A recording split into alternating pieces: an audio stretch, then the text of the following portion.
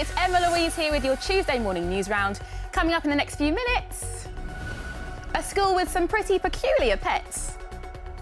And we take a sneak peek at the Wildlife Photographer of the Year exhibition.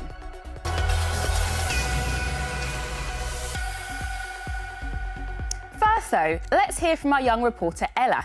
She has a hidden disability and wanted to share how she manages to keep up with the activities she loves. Next, some lucky students had a sneak peek at the Wildlife Photographer of the Year exhibition in Edinburgh. They also heard from a very special guest. Let's take a look. You might know him as CBeebies Ranger Hamza